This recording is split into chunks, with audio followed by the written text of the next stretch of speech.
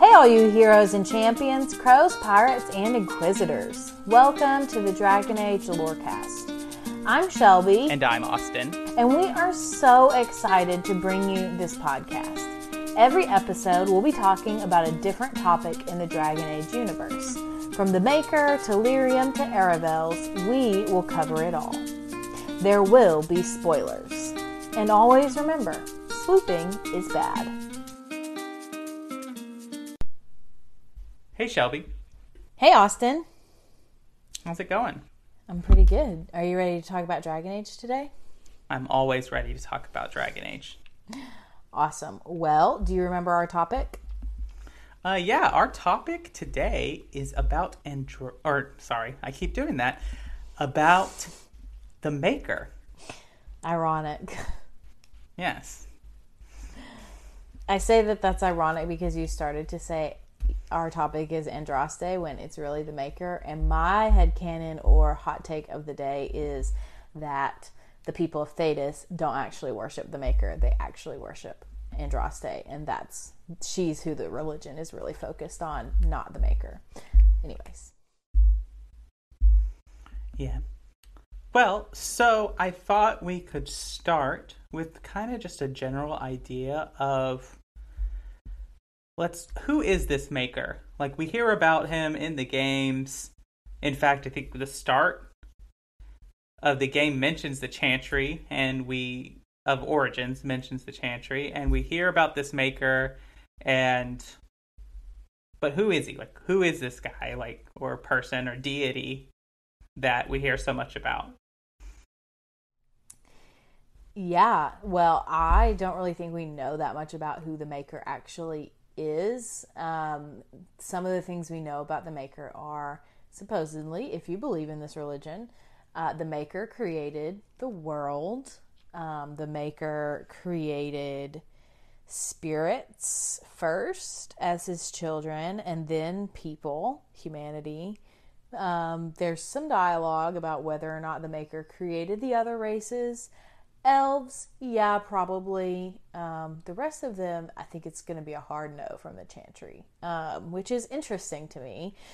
Um, but yeah, so there's that. There is the Tevinter uh, Magisters reached the Golden City and turned it black, and the Maker cast them down. Um, and then the maker called to Andraste, um, and that's that's that's mostly it. Like that's what we know about him. We don't know anything really about like who he is, like what motivates him. Why did he create um, the people of Thedas? Like we don't we don't know that um, information at all. So Right, right.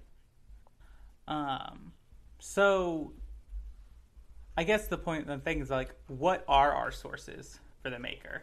Like, and the things that we do know, where do they come from? Um, yeah, well, I think the the biggest one is the chant of light, right? Uh, we talk about that in the game.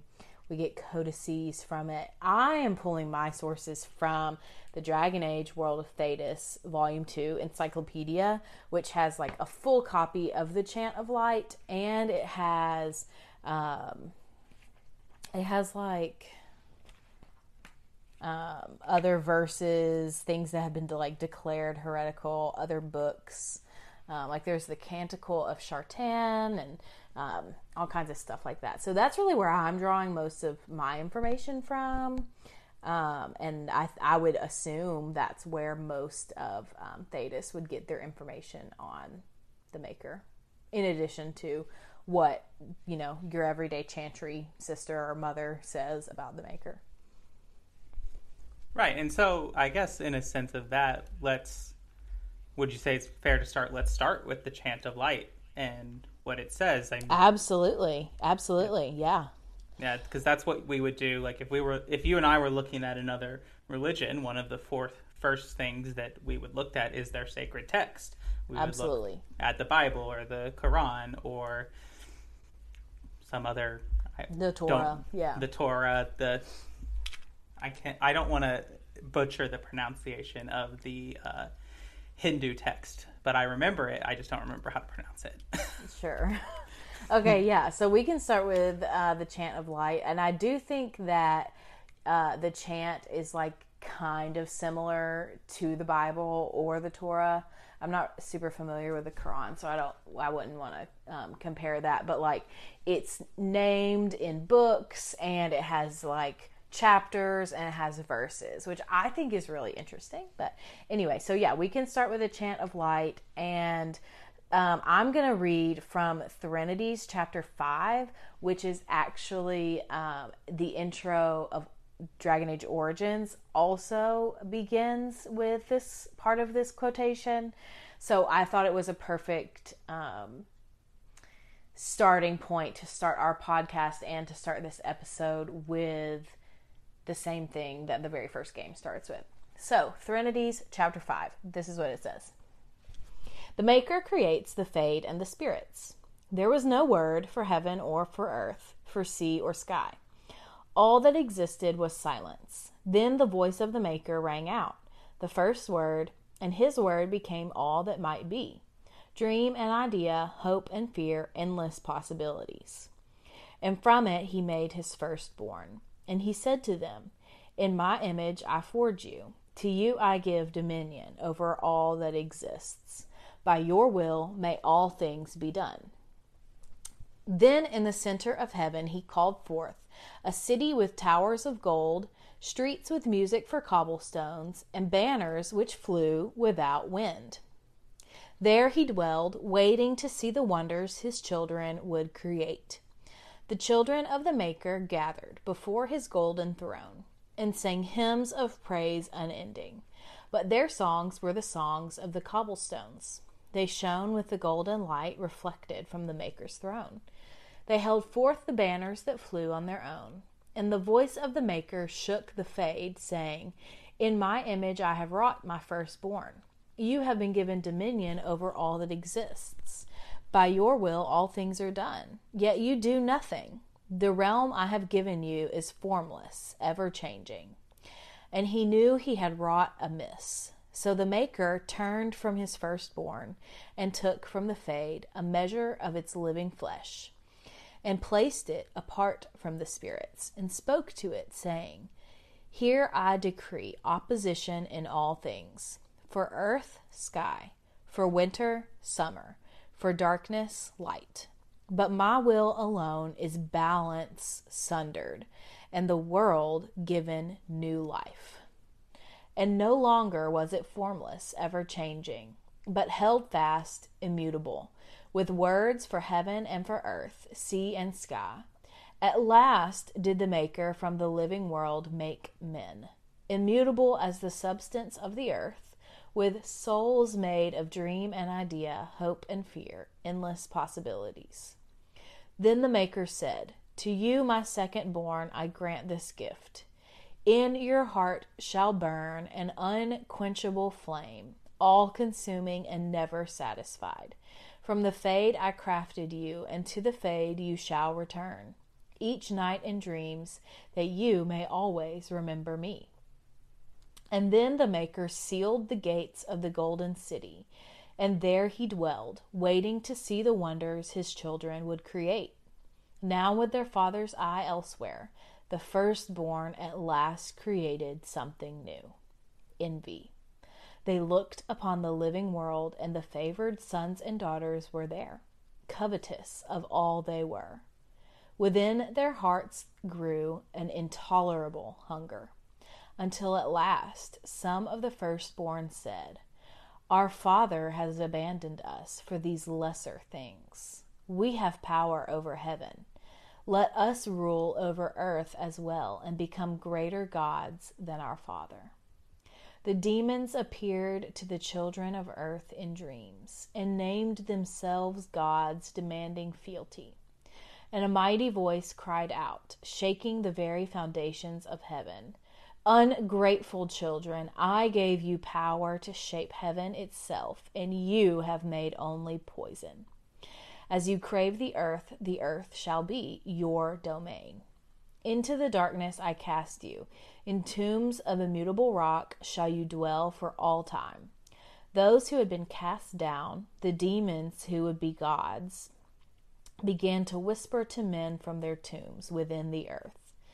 And the men of Tevinter heard and raised altars to the pretender gods once more, and in return were given in hushed whispers the secrets of darkest magic. Wow. Interesting, right? There's a lot to unpack there. Um, I know. There's so much like in that between you know the the creation um, of both the spirits and the people to um, the association with Tevinter as demons, like to the old gods and all of all of that storyline. Um, just all of it is really interesting to me. I think it just it shows that you you could take we really could take any one line of that entire Threnodies Five and probably make a whole episode of it. Um, yeah, you probably could. And just so the part that just kind of stuck out to me was the use of the names of actual demons from the game. Uh, so there's envy, hunger, all mm-hmm. these all these emotions or things are specific types of demons in Dragon Age. Right, um, that's so true. I didn't even notice that. Uh, so that just that that's what kind of stuck out to me is that in a lot of ways this part of the Chant of Light is kind of the story of creation, but it's also kind of a myth of why there is suffering and why there is evil. Absolutely, totally. Yeah, what sticks out to me in this is two things actually. First, and this is like me being a weirdo and remembering random quest names, but there are so many lines of this that are names of quests in Dragon Age. In Hush, in Hushed Whispers and In Your Heart Shall Burn are the two um, right off the bat that I remember. There may be more, I don't know. Um, but yeah, those sure. are both from Dragon Age Inquisition. In Hushed Whispers is the mage quest line from Inquisition, correct? I think so. Yeah. And then In Your Heart Shall Burn, I'm pretty sure that one is the quest where you get to Skyhold. Yeah, I think so.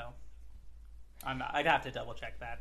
Yeah, not verified information, but right yeah so there's that um and then the other thing that i thought was so interesting in all of this is the opposite theme like there's earth and sky and winter and summer and darkness and light those obviously are opposites like we can say that from our world but um also it it's like my will alone is balance sundered and the world given new life that's really interesting to me. So like the maker isn't just this peaceful god who like wants everyone to be in harmony and um, like worshiping the maker is not you're not committing to pacifism. Um, so I, I thought that was interesting. In fact there would probably be members of the chantry who would argue that worshiping the maker is kind of the opposite of mm-hmm. committing to pacifism yeah definitely um,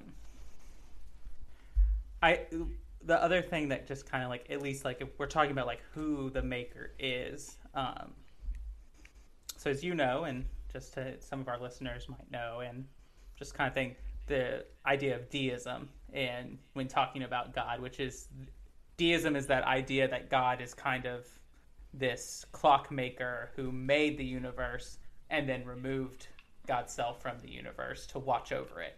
And he just watches over the the moving pieces of the universe and doesn't intervene in it. And I used to think before kind of doing this research, I used to think, oh, that's kind of like what the maker is. The maker is just this deistic god, which in a way, like there is points to that. Like he does mm-hmm. remove himself and turns from his children, but it's more of a it's more of a rejection of the world than a removal from the world. Yes. Yeah, totally. And I mean, the maker is you know, he is a creator and he was involved in the world and then the spirits, you know, kind of pissed him off and he said, okay, I'm done with you. Let me do something different. And then it was kind of the same thing again. Um, so he's created that we know of, you know, two groups of beings, and he's been disappointed with them both. So right. has he really created more, and we just don't know about it? You know, right? And so we get this kind of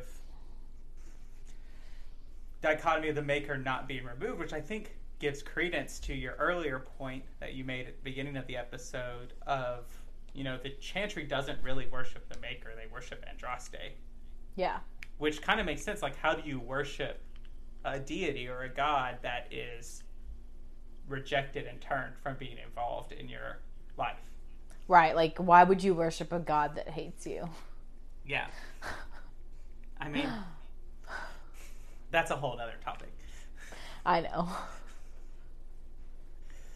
no shade if yes. you worship a god that hates you, but I don't understand it. Yes. Uh, so, like, who? So, the first children of the Maker, if I'm understanding you correct, are these spirits. Yeah. And so, like, we know from playing the game that spirits and demons have a close relationship to one another. And if you talk, if you play Inquisition and you talk enough to Solas, Solas will even tell you that demons and spirits are just kind of two sides of the same coin. Yeah, and I think you see that in the chant too. Um, but the way that I read it, the difference is a spirit becomes a demon when it's when it's infected with. I don't want to just say some kind of negative emotion, but um, an emotion that changes them almost. Like the first ones become demons because of envy, and then you know there's fear um, and probably anger and hunger. Um, all of those things kind of cause them to change into something that they are not. But then we also meet, you know, spirits of compassion. We meet mm-hmm. spirits in the game that are not malevolent. Um, right and there's Cole, which is a whole other right. so there are two. There are two spirit companions, really, if we want to talk about it throughout the three games. Um, yeah. You have Cole, which Cole is a whole nother episode that we'll get into. Just yeah, we'll get his story and get your tissues out because it's sad. Um, and then there's Anders Justice, which you just kind of get like I almost view it as a spirit becomes a demon when it becomes a corrupted version of mm. the idea the ideal it represents. Yeah, I, that's a great way of putting it. so sure. like justice moves to vengeance in Anders, seeing the plight of the mages instead of wanting justice for them, it turns and is corrupted into vengeance, which yeah. is different which is its own kind of just kind of another social commentary on our reality that we don't really have time to get into. But mm-hmm. but yeah, so you have this maker, this uh, who creates these first children, and you said in the beginning of the episode that the maker creates a second children, which the Chantry teaches is mankind. Um, and yeah. you mentioned the other elves, and that the Chantry would say no, the maker didn't create, you know, the Qunari or the dwarfs. Right. Um, so, like, can you just go a little more into that and? Um, yeah, I, a little bit. There's not a lot of information that I have. Um, we know that the Qunari come from their like ancestors are a race called the Kossith, um, and they land in Par Vollen, um, which is the island. There, that's now their homeland. It used to be um, in control of Tevinter, but it's an island that's kind of far from the mainland. So the Qunari pretty much easily took it, um, and they took it in um, 630 Steel Age. Um, which was, you know, quite a few ages ago. So it's basically now the Qunari homeland. Um, so they are clearly not part of the maker. We don't really know where they come from. Um, I think maybe DA4 might go into that a little bit more. Um, and then I'm not really sure there's anything in the chant of light that even mentions the dwarves. Right. Um. So you get the chant of light doesn't mention the elves either, correct? At least the passage we read. didn't The passage we read just then does not mention the elves. That's true. However, um, there are there are um, canticles of Shartan, and Shartan is um, the elf that helped Andraste conquer, move into Tevinter, um, and so she freed the elves, um, or some of the elves, the ones that she could, when when they moved into um, and started conquering lands in the Tevinter, the south of Tevinter. And so Shartan led the elves um, in her army, essentially. And so whenever you know their war was over, Andraste's husband Maferath, who betrayed her, he honored her promise to the elves and gave them the land in the Dales um, in Orlais, what is now Orlais.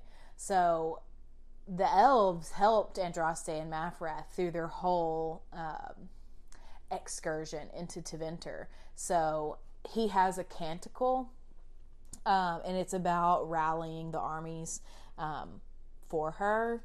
Um, but actually, his canticle was declared heretical. Um, I'm not sure where we find that out in the games. I can't remember. Um, but it is struck from the chant during the Exalted March on the Dales. So, um, all of the anything that has to do with the elves being involved in the chantry or the chant of light was pretty much struck from the record um, when the exalted march to the dales happened um, and the elves were then expelled from their second homeland Right. And you know, we we I think we should have said this in the beginning, but just kind of reiterating, like all of our sources about this come from the Chantry, and so is the Chantry this kind of reliable na- narrator that we have to say like, okay, this is how it really like is in the Dragon Age world. Yeah, I would say I think we can trust the Chantry to an extent. I, I don't think we can just take all of their sources as the unvarnished, unbiased truth. I think that we can take them and say, okay, this is what happened, but you're telling it from the angle that puts you in the best possible light. So, like, yeah, okay, maybe the Maker exists. We know Andraste exists, obviously. Um, we know Shartan existed. We know Maferath existed. Um, we know that the Tevinter Magisters, um, you know, we know that they tried to to reach the Golden City. Like we know that. Those are things we know happened based on events in the game. Like we meet Shartan in um, in Origins when we um, are trying to get to the ashes. Like you you you can meet him. You can meet some of these other people. I think maferath is in there. I can't totally remember. Um so it's like yes we know some of these things happened but also at the same time we're not totally sure if this is exactly how it happened so i tend to trust the chantry sources at least to an extent um Right.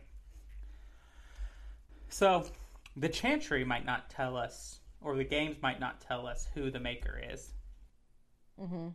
But that doesn't stop the fans from speculating on who the maker is. that's very accurate And so I have brought with us today some of my favorite fan theories on who the on who the maker is.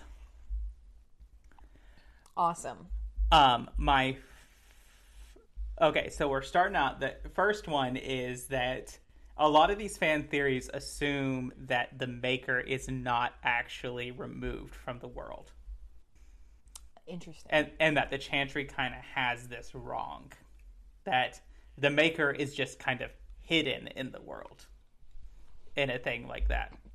Um, which kind of would make sense. Like we'll get into it when we talk about. I'm trying not to dive too much into the elven gods because everyone remember this episode because it's going to feed into our conversation about the elven gods. Yeah. Um, totally.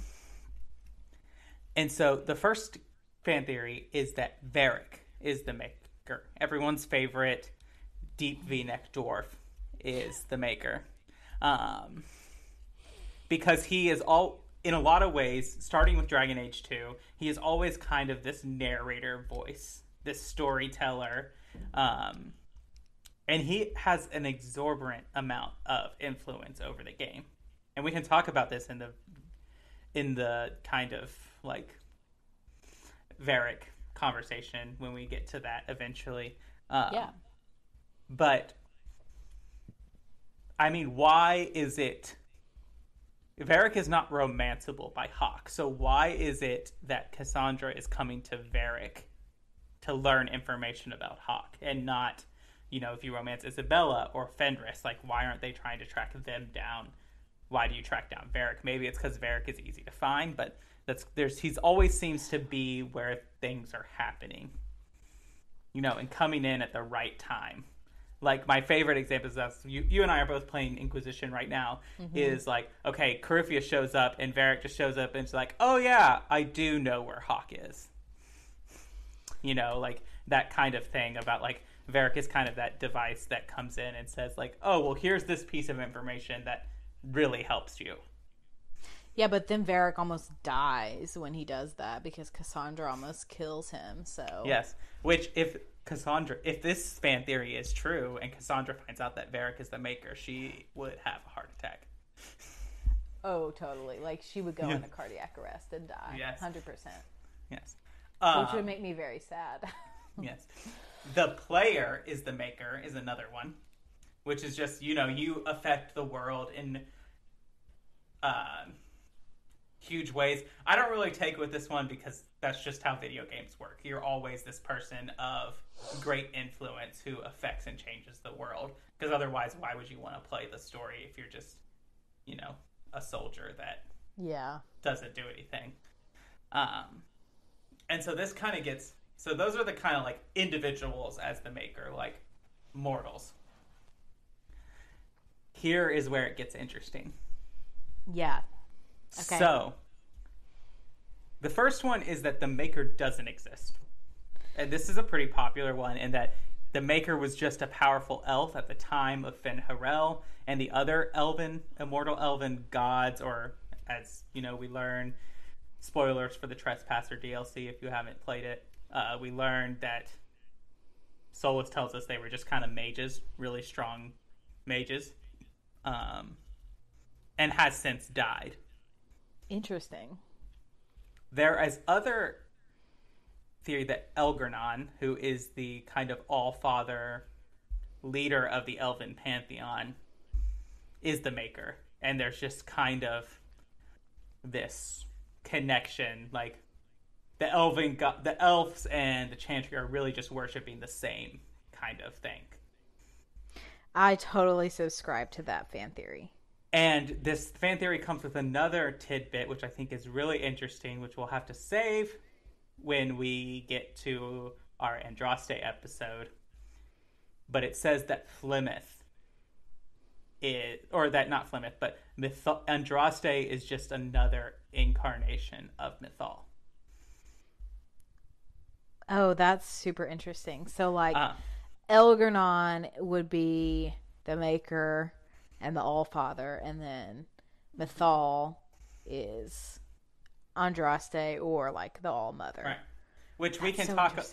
I'll bring that fan theory back around when we talk about Andraste to kind of talk about the similarities between Mythal and Andraste, which there are a lot. There's a lot of credence to this theory. Um, Yeah. And I think for me, Dragon Age is kind of moving us into this direction of like, okay, there might there's one story that each of these different groups kind of have a piece of. Yeah, and like every every every creation myth of all the people, like there's a part of it that's the truth and they need to be synchronized together. Not everyone has it 100% correct. Yeah. For and sure. and so there's that then there's what gets this is really obscure you really have to dig into codex to kind of get this uh, fan theory, but the Maker is a Titan. And for you who don't know, the Titans are kind of these uh, ancient primordial beings that existed, that the dwarfs believe existed and kind of like move the earth and other. They're very connected to the ground and the earth because, you know, the dwarfs, at least the Orzammar dwarfs, are very connected to stone and the ground and everything like that. Um, so the Maker is that the Titan that lives underneath Denerim. And so Andraste had these visions because she was deeply connected to the Titan. And she was changed in the same way. Again, spoilers for the Descent DLC and Inquisition. Uh, she was changed in the same way that Valta was changed at the end of the Descent. And okay, then, I can totally see that one too. Like yeah. that has some some credence for sure. So here is kind of um, an interesting kind of parallel. Uh, first of all, and I will post this on our Dragon Age Twitter uh, if you want to follow us on there. Valta's tarot card in Inquisition is almost identical to Andraste. Wow. Really? Yes. Um, and so, and I'll post a picture on the Twitter so uh, those we can see that and do all of that.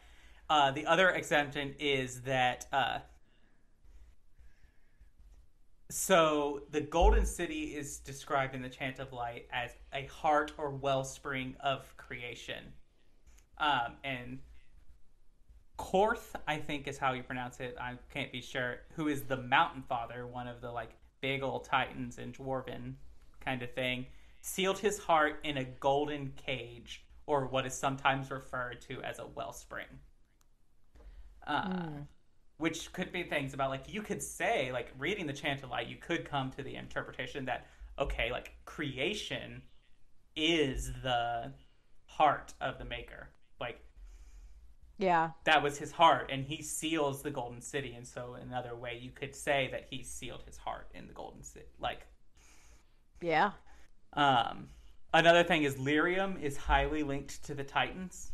Um, that we learn kind of again in the Descent DLC, and the Maker calls uh, lyrium is referred to the tears of the Fade. Uh, and then this one also ties into another theory that is just a very popular fan theory. I personally don't get it because I was never obsessed with him, but Sandal is a Titan and that he is the maker. Sandal. I want him to come back. I do too. You do see you see him in the Descent DLC. No, it's Trespasser. You don't see him in Descent. You see him in, but you don't. You don't really see him in either. It's just like a note from um, him that you can yeah. pick up in Trespasser. Right. I'm glad they brought Dagna back, but I agree that uh, Sandal, I do miss Sandal a little bit. Um, yeah. So, and then here's my last theory, and this before we kind of move on to our second part of the show and take a break. Um, Solas is the maker. Ugh. And the big kind of comparison is that it's those like again, this relies on Solas being a reliable narrator, which I think you could argue that he is not. I agree with that. Um, uh, even if he is being truthful about being Fen Harel, Fen Harel is this trickster kind of, you know, god that tricks the gods and deceives them. Mm-hmm. And so but the theory is is that, and if we go back into the chant of light, we heard the maker is responsible for creating the veil. Right, right.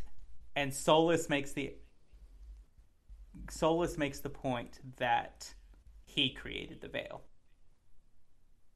So it's either that someone's lying or mm-hmm. Solas is the maker. Right. Um, and he created the veil to limit the power of the Evanuris, which are the elven gods. Yeah. And so yeah, those are our fan theories. Uh, I think we should we might put a Twitter poll out to see which ones people like the best. Oh uh, yeah, we should totally do that.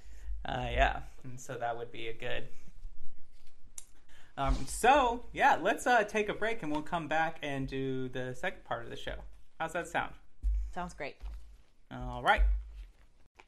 All right, welcome back. So, in this next part of the show, we will be taking kind of a deep dive into maybe some familiar, or some unfamiliar characters uh, that have something to do with the topic. So, Shelby, why don't you um, give it over to you and you can tell us about who are we talking about today? Yes. So today we're talking about Divine Justinia the First. She is the first divine ever. Um, and she's also the first divine. Well, she is the first divine, but she's the divine before um, the Tevinter chantry splits from the main chantry. That's what I'm going to call it. Um, so, the earliest recorded version of the Chant of Light was written between um, minus 31 and minus 11 ancient, and it was probably written by Divine Justinia the First. Because she lived so long ago, we don't know a ton about her life. Um, but we do know that she was thought to have been the first one to translate the chant of light. It was originally written in the original Tevene, which I find fascinating. And she translated it into Ciriane, which is um, one of the original languages of Orlais. The Ciriane were a like tribe um, similar to the Alamarri or the Avvar. Um, and they settled in Orlais, and um, they're kind of like the the ancestors of, of modern Orlesians. So she translated it into their language. Um, and then it later got translated into the common tongue. So she was the first divine, like I said. She was appointed by Emperor Kordillus Drakon, Drakon in the first in one one divine. She chose her name to honor the disciple who recorded Andraste's songs and this is my favorite part. Before her coronation, she was the only female general in the Orlesian army. And she was known as the warrior priest, which I love. Um, and her version of the Chant of Light has survived with very few changes um, to the present day. So that's a little bit about Divine Justinia the First, and she was so popular um, as a divine that Obviously, now um, we're up to Divine Justinia the fifth, so there are quite a few Divine Justinias who have moder- who have um, modeled their time as divine upon hers. Um, one question, and you might not know this off the top of your head, but do we have like a do we know who she was before she was Divine Justinia? Like her real name? Yeah. Um, no, we don't know her name. All right. At least not that I can find. I was just curious.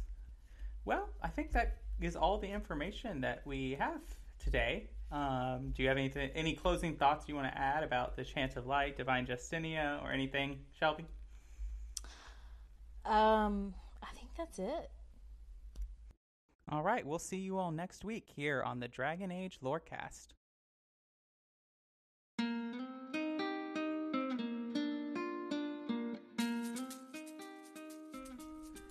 Thanks for listening to the Dragon Age Lorecast. As always, you can find us on Twitter at DA Lorecast. If you have any lore questions, topics to unpack, or side character suggestions, email them to us at dalorecast at gmail.com. The Dragon Age Lorecast is a part of the Robots Radio Rocket Club. You can join the Robots Radio Network Discord by clicking the link in our episode description. If you enjoyed our show, we'd love it if you'd subscribe and give us a review. See you next time. Do you love Dragon Age? Have you always wanted to learn more about its vast world and detailed lore? Are you still attached to your hero of Ferelden even a decade after Dragon Age Origins came out? Or maybe you're a newer fan, still discovering a new tidbit or quest every day. Well, either way, the Dragon Age Lorecast is the podcast for you. I'm Austin, also known as Teecup. And I'm Shelby, also known as She Cup. And come and join us as we embark on a journey to explore and discover all things Dragon Age. We'll discuss all kinds of topics, from lyrium to the chantry and the great mysteries of the old gods, and even more that even you BioWare superfans might not know about. So come and listen on Spotify, Apple, Stitcher, or wherever you get your podcast. And always remember swooping